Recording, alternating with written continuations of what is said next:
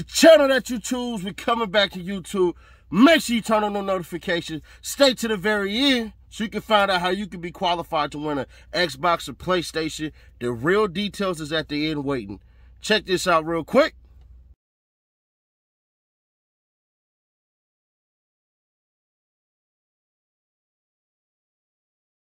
It's your favorite Loke, especially after I spoke. Support the real again. Get rid of the fake, the F you to the industry. How do you fight back? It's simple. All you got to do is just press subscribe, then join the movement over there on Instagram at C-E-D-D-Y-N-A-S-H.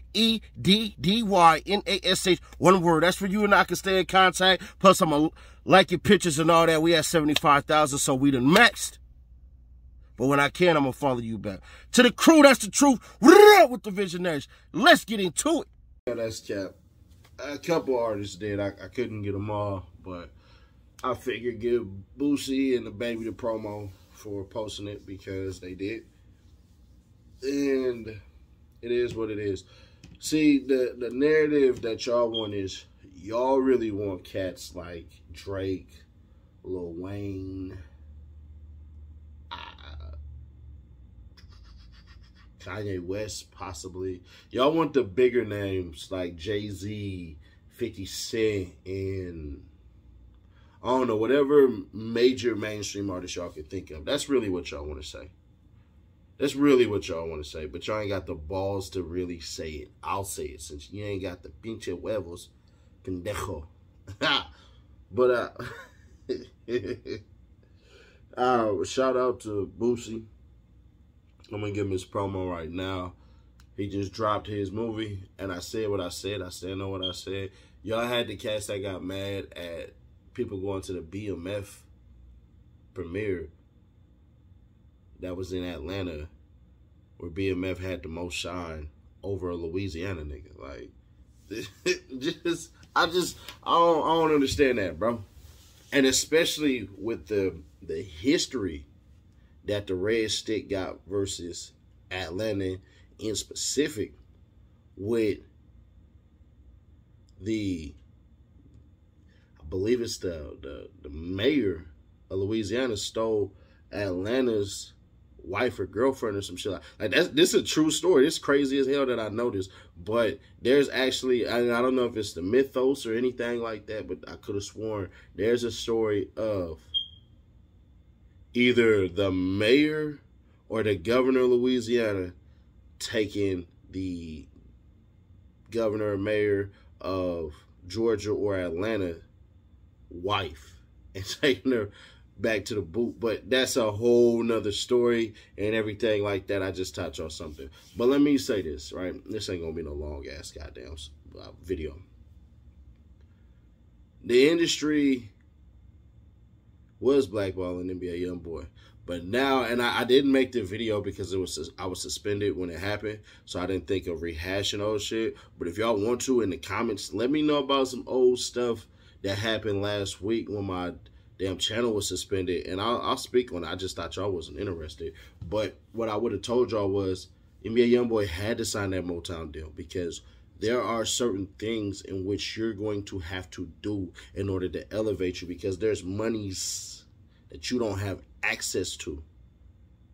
See, if the industry tells young boy we want to do a what is it called a feature now they gotta holler at motown and motown gonna charge them like 200000 or 100000 for an nba youngboy feature with this being his true debut album going number one I don't know the intricacies of his deal with them, but for him under their label to drop a number one album while being behind bars and everything like that, that right there is seismic. And I'm going to tell you the reason why. The reason why it's seismic is because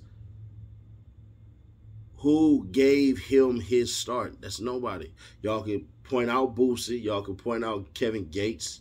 You know what I'm saying? Y'all can point out those individuals, but that's that's not their that's not their person that they really put on. So with that being said, it's a lot of hatred towards him because he ain't kissing ass.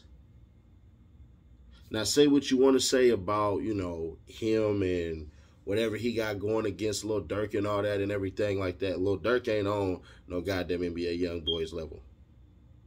Young Boy been snuffed out of a lot of awards and a lot of placements because of that. Now, Lil Durk is going on a hell of a run. This is his best run ever. Shout out to him.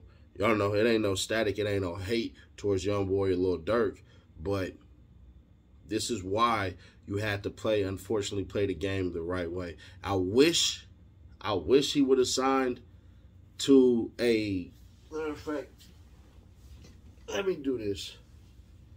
Let me do this live, right? The cat's already on my necklace right now, but what I said.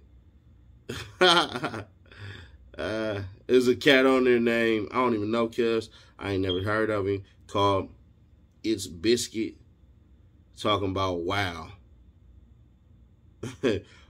Over, he got almost 700,000 freaking subscribers. I mean, followers on IG. This nut ass nigga gonna say big facts. Wow. Like, bruh, you got that many people and you ain't even posting NBA young boy shit, but you gonna call it big facts. I'm not capping. Look at this shit. So I called him out on it. I said, not even you, but the baby did, you know. But either way, either way, either way, either way. either way that go. Let me see this. Who owns Motown Records?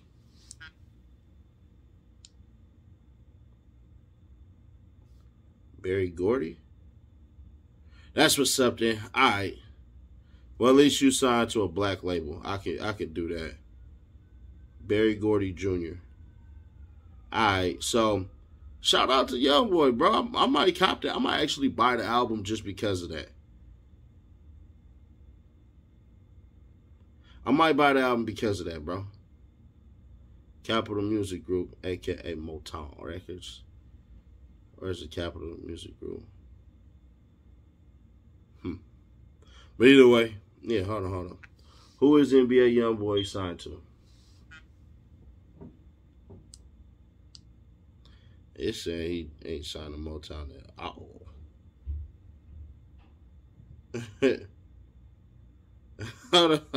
I might have just I might have just tasked him with something he ain't even did. Uh, I thought Cuz was with it, but it's still saying Atlantic. But I don't know. I think Atlantic has the. Nah, it got to be Motown. Either way they go. 21 years old. Yeah. There we go. Motown and Youngboy. There we go. All right. Yeah. So, boom. There we go. I, I had to get confirmation. But, shout out, man. That's dope. I'm I'm going to consider buying it. I'm going to listen to it on I only heard like two songs because I've been busy writing my own shit. Our Intrinsic drops next Friday. But yeah. Alright man. Catch you on the next one. Y'all expect me to keep it real? Because you know that I will. I do this daily, baby. Check out the Nightly Nash podcast. Also, Street the Music Ceddy Nash if you have not. It's on all streaming platforms. Guaranteed you're going to find something you like. Probably like that overly thugging freestyle. Or maybe something different. Let me know in the comments. We possibly shoot that music video. Oh, you want to learn how to win that free Xbox or PlayStation and concert tickets or just a gift card in general? Simple. Be an active subscriber. What does that mean? The more you like, the more you comment, the more you share these videos, the higher your chances are increased to win. Simple. We're going to give away that specific item that you choose at 60,000 subscribers. That's six zero. Make sure, make sure you increase your chances to win. This is free to y'all. It's only costing me. And I'm going to personally deliver it to you. How you like the sound of that? Cool? Catch you at the next video. Check out the previous videos too.